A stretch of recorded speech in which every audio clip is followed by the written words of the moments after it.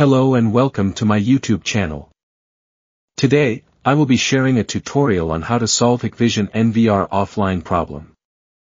To overcome the offline HikConnect status, the first step that must be taken is to ensure that the NVR is connected to the internet modem using a LAN cable.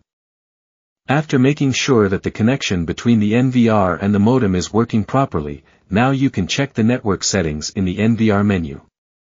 Please access the network menu and select the General section. Upon inspection, it becomes evident that the IP address remains set as the default value provided by Hikvision.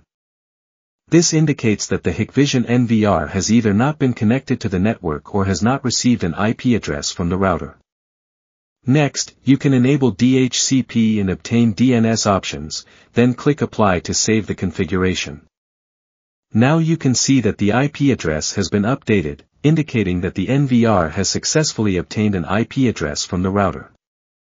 Proceed to the HikConnect section to ensure that the status has changed to online. Congratulations! Your NVR is now back online, allowing you to either add the device to the app or resume monitoring the DVR.